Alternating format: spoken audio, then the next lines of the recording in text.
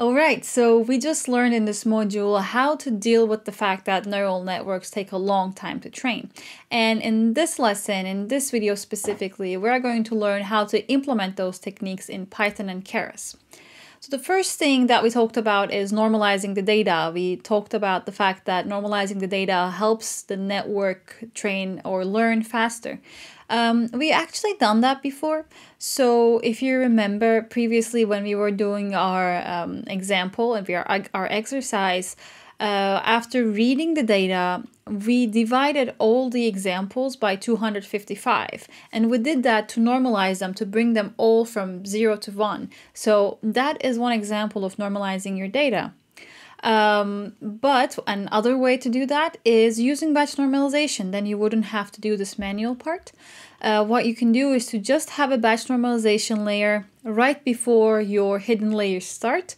Then all your inputs will be normalized and hopefully your model will be faster than it was before. The next thing that we can do is to change the optimizer that we're using. As we talked about, some optimizers are faster than the other ones, and depending on your problem, what you should choose might vary. Um, if you want to see all the options that you have for optimizers, you can go and follow the documentation. Uh, but we already talked about some of the options that we have, um, and implementing them are very simple. One way is to just specify the optimizer in your compile function after you set up your architecture of the network you call a compile function if you remember and we specify the loss we specify the metrics that we want to see while this uh, network is training. And also you can specify the optimizer. The default is to use gradient descent with momentum actually. So so far i've all, only been telling you that it was gradient descent but actually this one is gradient descent with momentum uh, included already because that is objectively a better way, a faster way of training the network. So no one uses only gradient descent anymore. But if you want to change it, you can use ADAM, NADAM, and all the other ones um, in your uh, compile function. Another way to specify it is having it here separately from the um, compile function. So here, for example, we are using gradient descent with momentum, but we are using all the default values for all the parameters that we can set for the gradient descent. So this is called the string identifier. So we're using the string identifier. What else we can do instead is to uh, define this optimizer using some of the other things that we want to specify and then putting it in a variable and then passing that variable as the optimizer uh, argument to the compile function. What can we specify? Well, we can specify the learning rate, for example. We can specify a certain momentum value because there's a, a default momentum value, but you might want to change it, of course. And also, when it comes to Nesterov uh, gradient descent, for example, or Nesterov optimization, you can specify it for gradient descent to include Nesterov or not. Uh, there is no separate Nesterov optimization in Keras, but if you want your gradient descent to um, implement the Nesterov trick that we've seen in the lesson, then you can set it here, for example. Um, and another way is to not having it on a separate line, but again, you can just pass the uh, this whole Keras optimizer, uh, and whichever one that you like, to the optimizer directly in the uh, compile method or compile function. Then you'll be able to also specify uh, arguments or specific parameters for your optimizer. Uh, but this is basically uh, a choice. You can do it either separately or inside the compile function directly. So the next thing we have learned was learning rate scheduling. So let's see how we can implement that. So basically when it comes to learning rate scheduling, you can either implement your own functions and pass it to your model, or you can just use the uh, ones that are built in in Keras. So to, to be able to see the options, you can go to this link that I've noted here to see all the options that you have in terms of scheduling algorithms. Um, but let's go over a bunch and see how they would be used in Keras or how they would be implemented in a project.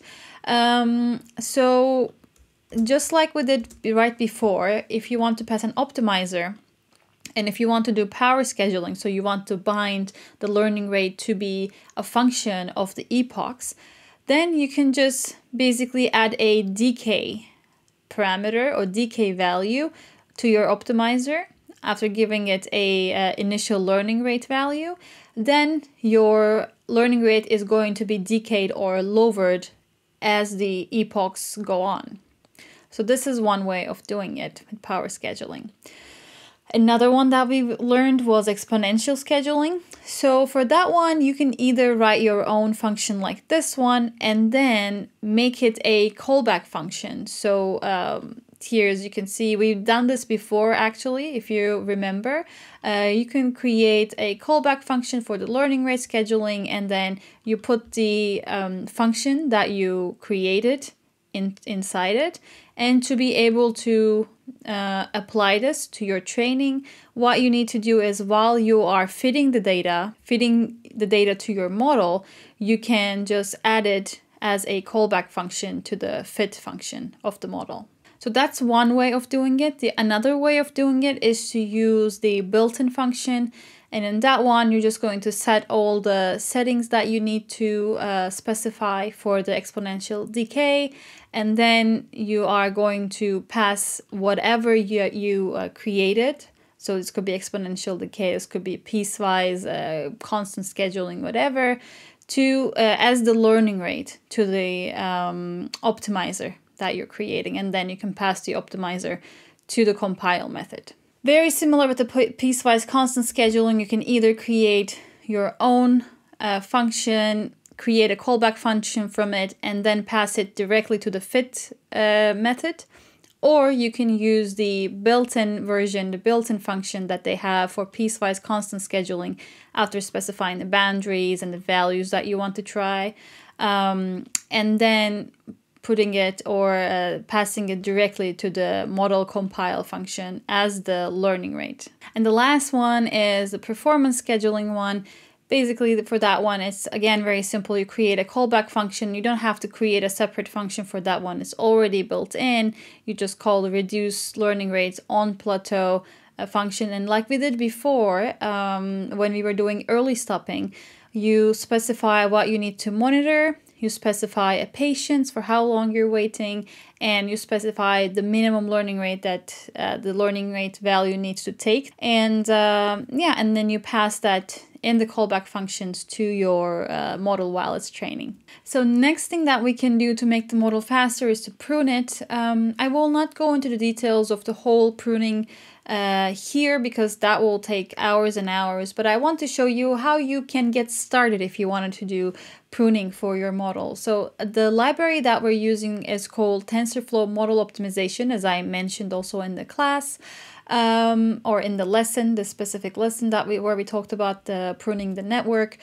Uh, so basically, what they suggest or what they advise is to first create a model and train it fully and then do pruning on top of it. So that's exactly what we do here. We train a model and then on top of that, we create a pruning model from scratch using the TensorFlow model optimization libraries prune low magnitude function. So we pass the model to that one and then we compile a whole new model on top of it but this model it has the purpose to not train but to prune to find the uh, weights that are not adding so much to the um, quality of the network or the performance of the network and prune them out.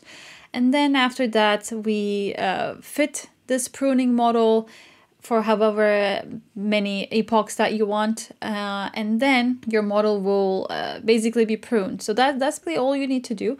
You just need to create a uh, pruning model pass your model to that the model that you've already trained to that uh, model and then uh, do a new fitting using the training input and output that you already used. Um, one important thing to do here is to check the test accuracy before and after you train your model because Pruning sometimes can dramatically decrease the accuracy that you have if it's not done correctly. So you always want to make sure that you're checking the test accuracy or whatever metric that you're uh, calculating or evaluating your uh, model with, uh, just to see that there is no dramatic change. So here you can see that we even have an increase in terms of accuracy after we pruned, and that uh, happens sometimes. So that's a good sign. But this was just a quick model that I created for, I, I run it only for a couple of epochs and everything. So just so you know, that is something that you need to keep an eye out for. Uh, but that's it. Using the TensorFlow model optimization, you can quickly prune, prune your networks. Uh, if you want more detail, I would suggest you go and look into the into the documents of the TensorFlow model optimization library. Very likely you're not going to need this at first, uh, but just so you know it exists and just so you know where to start if you want to prune a network. The last thing is mini batches. We've seen already how to set mini batches in the hyperparameter tuning uh, coding section, uh, but just to remind you, basically while you're fitting your data to your model, you just call the batch size and you specify the batch size there. Uh, if you have any questions, don't forget to leave a comment under this video and I'll see you in the next module.